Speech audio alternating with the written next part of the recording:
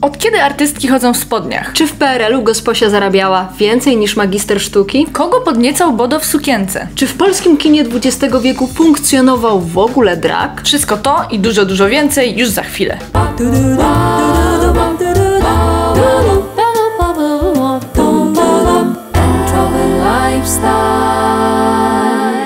Zanim zaczniemy, pamiętajcie, żeby zostawić pod naszym wideo komentarz, bo to zdecydowanie zwiększa nasze zasięgi, co sprawia, że możemy dotrzeć do większej ilości osób i cały czas się rozwijać. Za nami Halloween. Najlepszy dzień w roku, żeby się za kogoś przebrać. Pogadamy więc sobie trochę o przebierankach w polskim kinie. Może się wydawać, że erę dragu rozpoczęły w Polsce lata 2000, a następnie popularność RuPaul's Drag Race. Ale czy na pewno? Pokażemy Wam dzisiaj 5 filmów dających nadzieję na to, że subwersywność czekała cały czas za rogiem, gotowa rozgrzać serca młodych LGBT-ów, a potem zastanowimy się razem, dla kogo przebierali się tak naprawdę bohaterowie dzisiejszego odcinka. Zaczynamy. Numer 1. Czy Lucyna to dziewczyna? Lucyna, po uzyskaniu dyplomu studiów inżynierskich, wraca do domu z Paryża. Zajeżdża pod dom automobilem, przywożąc z zachodu Europy oryginalne idee i niekonwencjonalne stroje. Jak podkreśla, za granicą wszystkie artystki chodzą już w spodniach. Nie chce wychodzić za mąż, chce pracować. Planom jej kariery zawodowej sprzeciwia się jednak bogaty ojciec. Lucyna przebiera się więc za mężczyznę, by zdobyć posadę technika u boku inżyniera Stefana Żarnowskiego, w którym, jak łatwo się domyślić, wkrótce się zakochuje. Po wielu zabawnych, Jak na tamte czasy. perypetiach, takich jak choćby zniechęcanie Stefana do swojej narzeczonej i udawanie siostry swojego męskiego wcielenia, udaje jej się wreszcie zdobyć miłość swojego przełożonego. Rolę Lucyny przyjęła Jadwiga Smosarska, jedna z najbardziej popularnych aktorek tego okresu. Teraz dopełnimy obrządku i dajmy sobie pyska. Zaraz, zaraz, zaraz. Co wy tak z tym dziobem jak dziewczyna do mnie? No to pomysł! No po męsku. A może ty Numer 2. Piętro wyżej. Film Leona Trystana z 1937 roku to komedia omyłek opowiadająca o dwóch zwalczających się nieskutecznie nawzajem sąsiadach. Dzieli ich wiele. Henryk Pączek, który jest konferencjerem, uwielbia jazz, Hipolit Pączek zaś to poważny człowiek i miłośnik muzyki klasycznej. Zbieżność nazwisk sprowadza na nich lawinę nieporozumień, której kulminacyjnym momentem staje się występ Henryka przebranego podczas karnawałowego wieczoru za Mae West ówczesną uwodzicielską gwiazdę kina z USA. Bodo wchodzi na scenę w pełnym makijażu, peruce i wspaniałej sukni śpiewając legendarną piosenkę Sex Appeal. Rozpala wyobraźnię panów na widowni tajemniczymi spojrzeniami z zawachlarza, a po występie flirtuje z kamienicznikiem. Appeal to nasza broń kobieca appeal to coś, co was podnieca w dzień Styl, szarm, szyk, tem was zdobywamy w mig. Piętro wyżej odniosło spektakularny sukces, zbierając wiele pozytywnych recenzji. Najgorsze natomiast w prawicowych kręgach. Numer 3. Książątko. Władka, młoda, energiczna dziewczyna, pracuje wytrwale na poczcie, nie przejmując się docinkami koleżanek i torując sobie miejsce w życiu. Wygrywa na loterii 150 zł, za które planuje pojechać do Krynicy Zdrój i szybko zostaje okradziona. Pomimo przeciwności losu nie poddaje się i postanawia wyruszyć w świat, by zdobyć serce ukochanego przez siebie dziedzica rolskiego. W tej roli znowu Eugeniusz Bodo.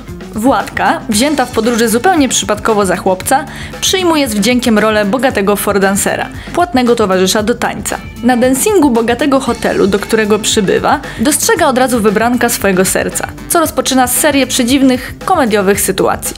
Odgrywa swoją rolę całkiem dobrze, wpada w oko nie tylko Rolskiemu, ale i kilku młodym dziewczętom odwiedzającym salę taneczną hotelu Patria. Bo ja pana jakoś bardzo polubiłem. I ja pana też polubiłem. To nawet dziwne, Dlaczego? bo to nawet nie jest uczucie przyjaźni, tylko diabli wiedzą jakiś sentyment czy coś.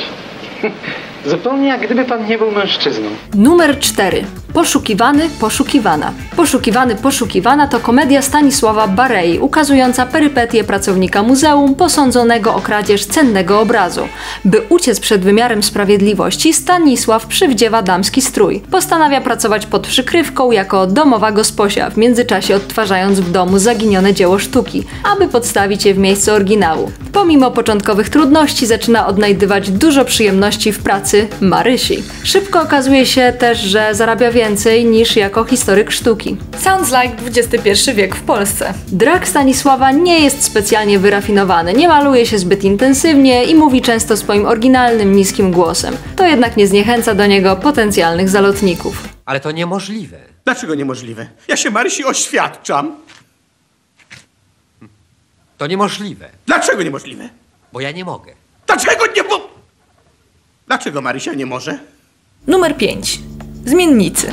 Nasza ostatnia propozycja to serial z lat 80.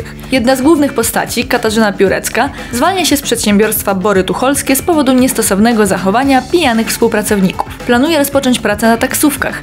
Jej kandydatura w warszawskim przedsiębiorstwie taksówkowym zostaje jednak odrzucona z uwagi na płeć.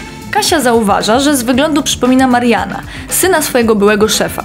Przebiera się więc w męskie ciuchy, doprawia sobie wąs i zdobywa pracę jako zmienniczka drugiego głównego bohatera, Jacka. Zostaje przy tym wplątana w potężną aferę kryminalną, a po drodze oczywiście zakochuje się w Żydkiewiczu. Co ciekawe, Jacek odwzajemnia jej uczucie, nie znając jeszcze jej prawdziwej tożsamości. W rolę Kasi wcieliła się 33-letnia wtedy Ewa Błaszczyk.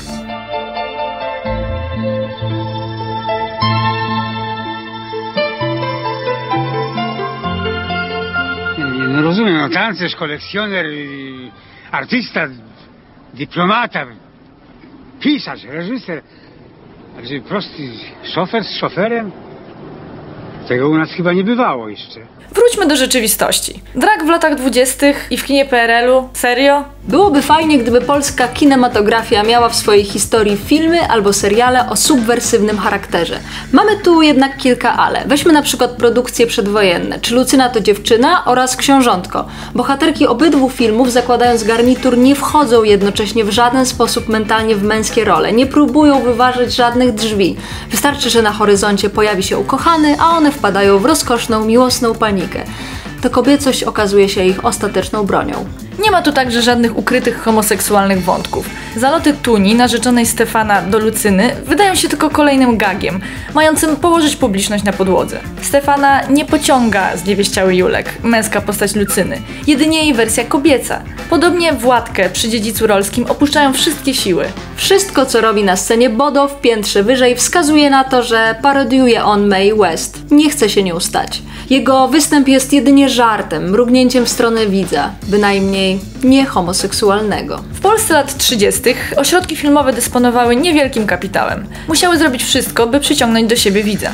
Jednym ze sposobów na to było wykorzystanie hollywoodzkiego sprawdzonego wzorca fabularnego, który widzimy w wymienionych tu filmach. Najwyższą intencją było rozbawienie tłumu i dostarczenie mu maksymalnej ilości rozrywki. I tą właśnie rozrywką są tutaj przebieranki głównych bohaterów.